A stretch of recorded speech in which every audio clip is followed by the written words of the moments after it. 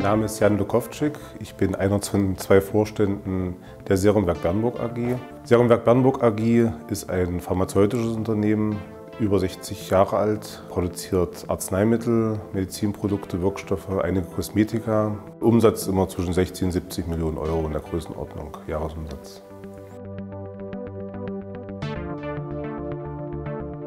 Wir arbeiten seit anderthalb Jahren mit Expense Reduction Analyst zusammen und die Gründe waren letztlich die, dass äh, Expense Reduction Analysts diese Analysen macht in bestimmten Bereichen. Wir haben natürlich verschiedene Bereiche ausgewählt, die nicht unsere expliziten Kernbereiche sind. Also Dinge, äh, wo man nicht ganz so oft hingeguckt für uns sekundäre Bereiche. Das ist zum einen Frachtkosten, Packmittel, äh, Verpackungen, dann Druck, Projekte, sowohl die Broschüren als auch Etiketten, Versandfallschachteln und so weiter und auch Entsorgung.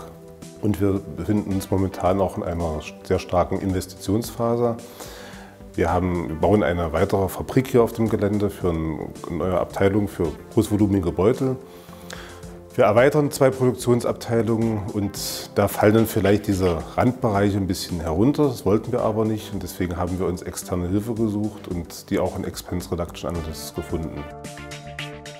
Das war auf jeden Fall ein wichtiger Punkt, diese erfolgsabhängige Variante, dass wir erstmal keine primären Kosten haben, sondern dass sich die Kosten sozusagen entsprechend der Einsparungen über diese Vertragslaufzeit dann ergibt die Nachhaltigkeit bei diesen Projekten und dass das auch äh, in den ersten ein, zwei Jahren von Expense Reduction Analysts begleitet wird, ist uns sehr wichtig, dass wir sehen, dass es also nicht nur einen Einmaleffekt hat, der vielleicht kurz auflackert, sondern auch in, äh, von Dauer ist.